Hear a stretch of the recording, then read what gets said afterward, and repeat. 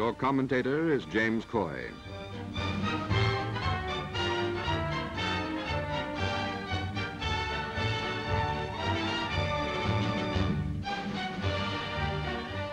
Fierce fighting in Egypt. British and Nazi armies battle furiously before the gates to the Near East, the vitally strategic land of the pyramids.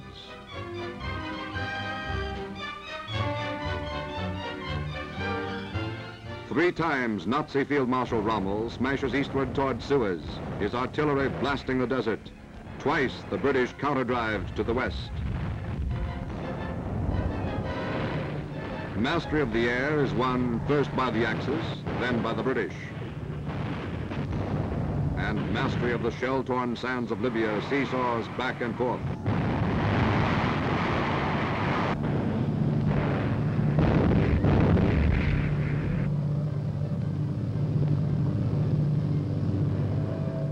Goes the alert, and hardy desert fighters come from dugouts on the double to man the anti-aircraft batteries.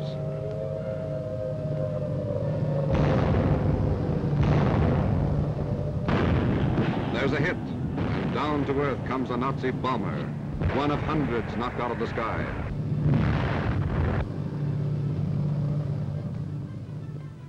Cautiously, a soldier looks for signs of life, but there are no survivors. The defenders of Libya and Egypt reach their critical front when Rommel's columns clash with the British in the desert wilderness between Bir Hakeim and the coast. Here, American General Grant tanks get their baptism of fire.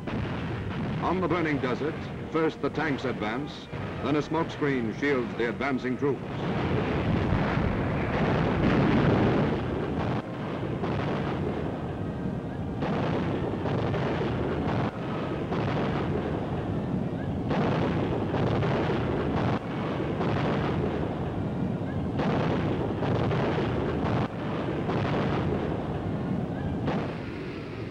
RAF, reinforced by American airmen, roars into the battle to blast the enemy supply lines.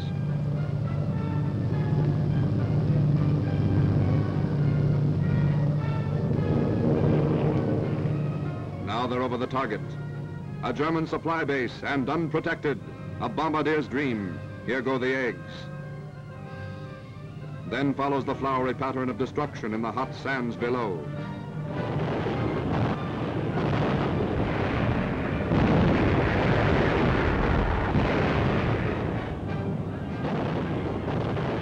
The drama of battle nears a climax, but not a decision. Out of action, this German tank stopped the shell. Rommel's battered forces are halted and pushed back. His air power is reduced. Field artillery pieces are battered, some beyond repair.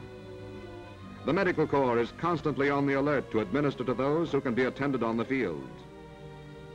The more seriously injured are moved slowly to the rear in lumbering ambulances. And here is something of the fortunes of war. The best of fighting men sometimes are forced to surrender. Rommel's second in command, the Nazi General Ludwig Crüwell, salutes his captor.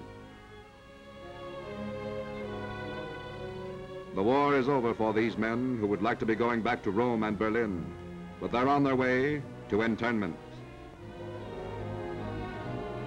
A British prison camp is at the end of the rainbow for them.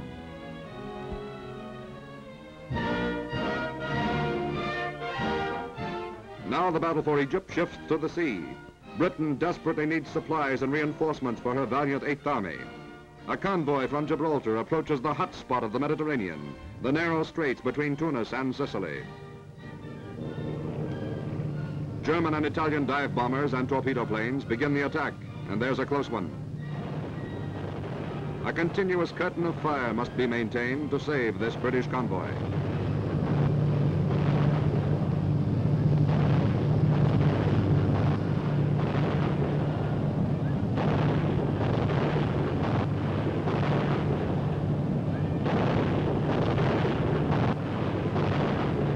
But the enemy is under the sea, too. Listening devices detect the sound of submarines close by.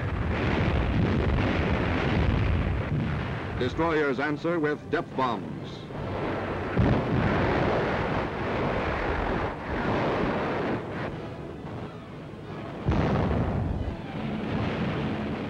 another wave of enemy planes roars into attack, dropping bomb after bomb, and all dangerously close.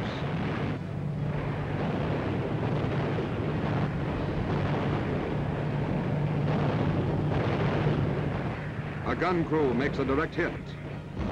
It's one of El Duce's war eagles whose wings are clipped forever.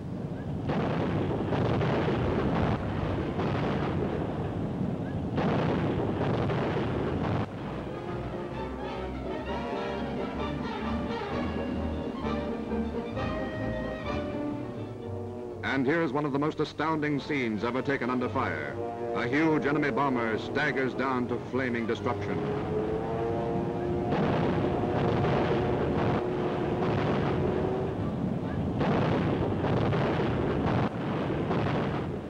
Dusk approaches, and destroyers begin to lay down a smoke screen as reconnaissance planes report naval units moving into attack.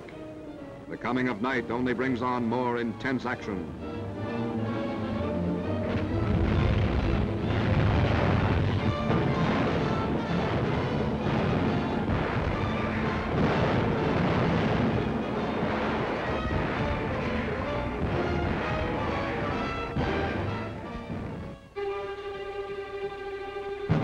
Another dawn comes to the flaming desert. Tobruk has fallen. The RAF is desperately pounding Rommel's supply lines to halt his advance, and they stop him at Mersa Matruh.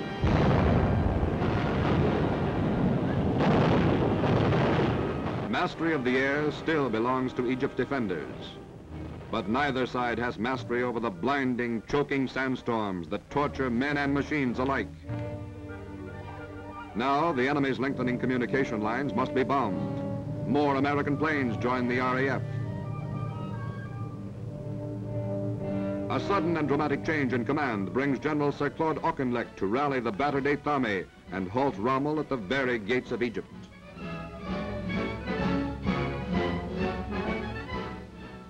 Supply lines for Auchinleck's men are short, and reinforcements pour in from Cairo and Alexandria. There is a constant rumble of heavy trucks all through the back areas.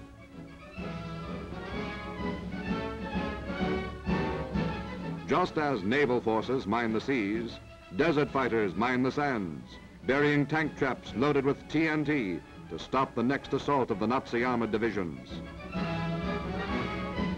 Gun emplacements are set up to hang a curtain of steel in the sky if dive bombers attempt an attack.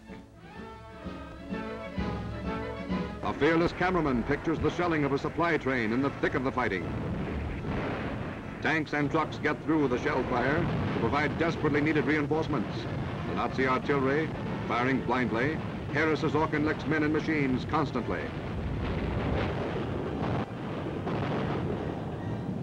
Here goes an American plane to join a squadron with orders to disrupt the thinning lines of enemy communications.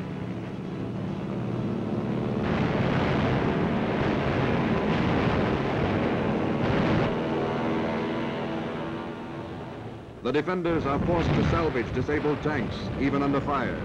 They have lost far too many in the retreat from Tobruk to wait for another convoy to bring more. This one's too close for comfort.